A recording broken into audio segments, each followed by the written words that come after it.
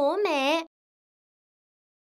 À ru hài hài ru Ru em em ngủ cho ngoan. Ê, cậu đang hát cái gì vậy?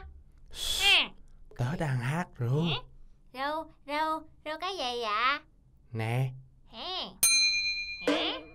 Là chú bọ bo bo của tớ đấy. Tớ đang ru bạn ấy ngủ. À. Ru em em ngủ cho ngoan Để dài với mèo dẫn chương trình Điều chúng mình chưa biết nha Hả? Hù, hù. Sao cậu khóc vậy?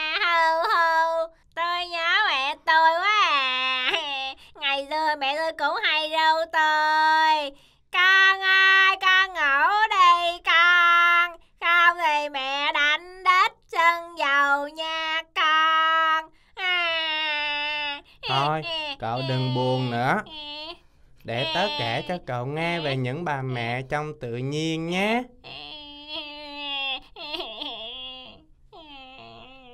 Ô, nhìn kìa. Bà mẹ kangaroo của chúng ta đang đan một chiếc áo len thật xinh xắn cho em bé của cô ấy đó. Ơ, nhưng em bé của cô kangaroo đâu rồi nhỉ? À, em ấy kia rồi Em ấy đang ở trong chiếc túi ấm áp của mẹ đó. Các bạn biết không, những bà mẹ kangaroo nuôi con mình trong chiếc túi đó. Không không không. Không phải túi ni lông, túi giấy hay ba lô Mà là một chiếc túi ở ngay trước bụng như một căn buồng ấm cho em bé yếu ớt. Khi mới sinh, em bé kangaroo chỉ dài có vài cm thôi. Sau đó, em ấy sẽ chui vào chiếc túi ấm áp trước bụng mẹ. Ở đó, em bé sẽ ngậm bú mẹ và được mẹ cho bú suốt 9 tháng liền, cho đến khi đủ lớn để chui ra đó. Nhưng không chỉ có bà mẹ kangaroo là biết nuôi con mình trong túi đâu, Mà còn có một bà mẹ khác sống ở vùng đầm lầy. Đó là cóc tổ ong đó. Bà mẹ cóc này không có túi như kangaroo, Mà bà dùng tấm lưng to của mình để nuôi con đó.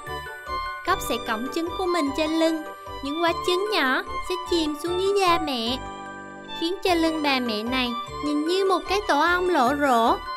Trứng sẽ nở ra trên lưng và những chú cóc cọt sẽ chui ra từ lưng mẹ sau khi đã phát triển đầy đủ hình dạng của một chú cóc.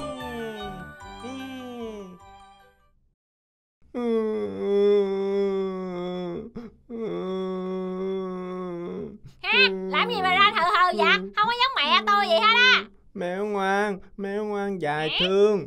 Cái gì? À, à, à không, mẹ thương, mẹ thương. Những bà mẹ quả thật là đáng nể phải không? Luôn yêu thương che chở cho những đứa con của mình. Đối với gà con thì gà mẹ còn quan trọng hơn thế nữa. Ngay từ trong trứng khoảng một ngày trước khi nở gà con đã bắt đầu trò chuyện với mẹ của mình hẳn là những chú gà con này đang rất sợ hãi khi sắp phải ra đời. Nhưng đừng lo. Đã có mẹ che chở bảo vệ rồi. Dài ơi, dài ơi dài, dài ơi dài, dài ơi, dài ơi dài. À, tớ đây nè. Cậu làm gì mà trốn dưới gầm bàn vậy? Tớ, tớ, tớ không muốn làm mẹ cậu nữa đâu. Hả? Mà thèm cậu làm mẹ chứ? Mẹ gì mà mặt dài thòn, thấy ghét. Không phải Tại tớ là con trai chứ bộ. Con trai sao làm mẹ được? Chỉ làm ba thôi. Nhưng mà ba không có chăm con được. Không có đâu nha. Ba cũng chăm con cừ lắm đó. Chim cánh cụt hoàng đế có những ông bố nuôi con còn cư khôi hơn cả mẹ đó Chim cánh cụt mẹ. Khi mới sinh quả trứng của mình thì mệt bã luôn. Vì nhiều ngày chưa ăn gì. Nên chim mẹ sẽ đưa trứng của mình cho chim bố ấp.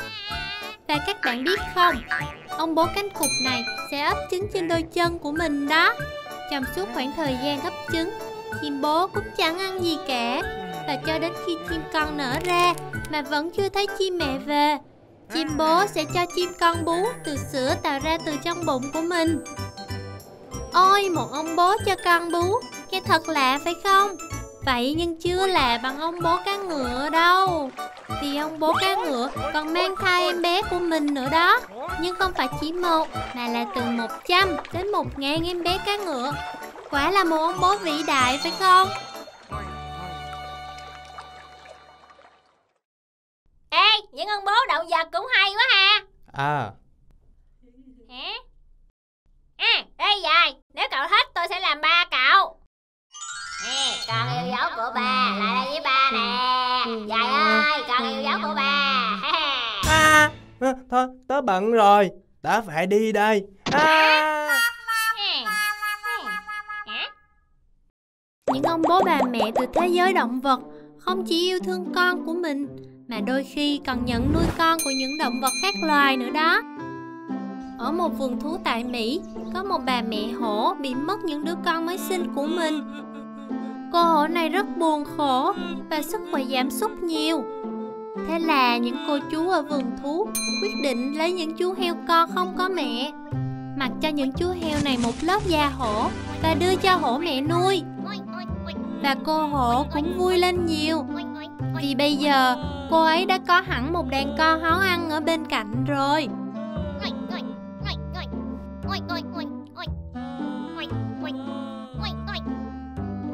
Cũng có những cô bé cậu bé loài người bị bỏ rơi, được động vật nuôi dưỡng chăm sóc như con mình. Vào năm 1920, người ta tìm thấy hai cô bé được sói nuôi dưỡng. Hai cô bé này cư xử y như những chú sói và thậm chí còn dữ tợn hơn những chú sói con. Khi người ta cố gắng mang hai cô bé đi Sói mẹ đã chiến đấu với con người để bảo vệ hai cô bé như những đứa con khác của mình Và dù được đưa trở về hòa nhập với con người, Hai cô bé này vẫn luôn thương nhớ về đàn sói Và người sói mẹ đầy yêu thương kia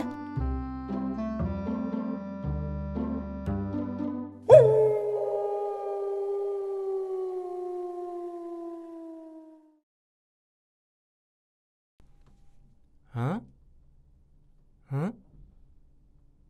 À. Các bạn ơi, ba mẹ của các động vật thật tuyệt vời đúng không? Nhưng ba mẹ của chúng mình còn tuyệt vời hơn đó. Bởi vậy, các bạn hãy luôn biết nghe lời và yêu thương, hiếu thảo với ba mẹ nhé. Ê, à, à, cậu đang làm gì vậy? À, à, tớ đang chào tạm biệt các bạn khán giả ấy mà. À, vậy hả? Vậy thì các bạn nhớ vào lúc 17 giờ 20 thứ bảy và chủ nhật hàng tuần trên kênh HTV7 nha. Mọi chi tiết xin liên hệ vào hộp thư điều chúng mình chưa biết a còng 2 pencil.com Dài nè Gì vậy? Tôi muốn cho cậu coi cái này nè ừ. Là gì thế?